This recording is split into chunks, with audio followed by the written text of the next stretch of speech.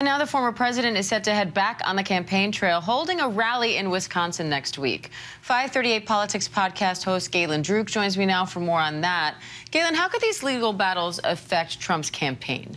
There are two ways in which they could affect Trump's campaign. The first is, although the former president has suggested that these cases may actually improve his support amongst the public, Polls do not bear that out. According to recent polling from Politico and Ipsos, more than twice as many American voters said they would be less likely to support the former president if he is convicted in the Manhattan trial compared with more likely. So what that all means is we are now in a general election environment. When we were talking about just Republican primary voters, they may have rallied to his side in his defense when he was indicted and throughout the primary campaign. But when we're talking about a general electorate, these cases, a potential guilty verdict, and just the specifics of it, you know, hush money to a porn actress, aren't the kinds of things that you want front and center in the news when you're running for president.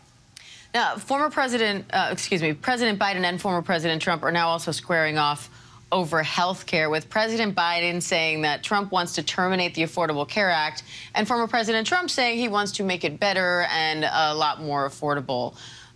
Is this going to become a major campaign issue? What are voters saying in terms of how important this is on their list? These are really good questions, Diane. I'll say first and foremost, when you ask Americans what's the most important issue facing the country today, the percentage who say it's health care is in the single digits. The most important issues are issues like immigration and the economy that are closer to 30% of Americans who say those are the most important challenge.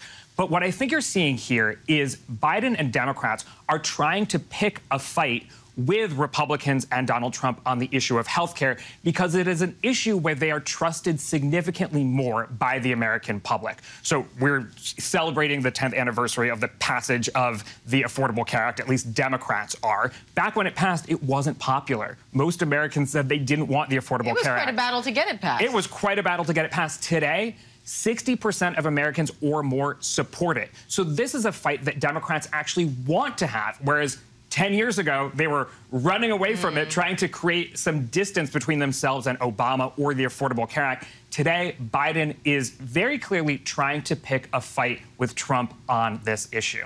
All right, 538 Politics podcast host Galen Druke, thank you. Thank you. Hi, everyone. George Stephanopoulos here. Thanks for checking out the ABC News YouTube channel. If you'd like to get more videos, show highlights, and watch live event coverage, click on the right over here to subscribe to our channel. And don't forget to download the ABC News app for breaking news alerts. Thanks for watching.